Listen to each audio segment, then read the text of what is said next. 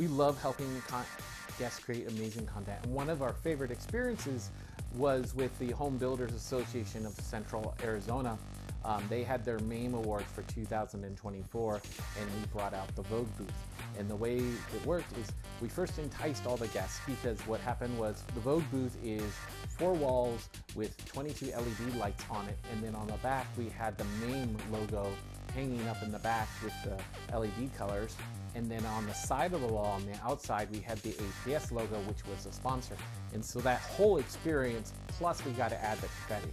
And with the confetti and that whole experience, um, we had people lined up and coming to that experience. And then we had the table with the oversized props, and that was a lot of fun. And so they'd grab the props, they'd come in and they'd take the GIFs, which were four pictures taken together, and it created an amazing output. And it was that fun experience. And then finally, they got to um, text their photos and share it, and a lot of them are posting it on LinkedIn.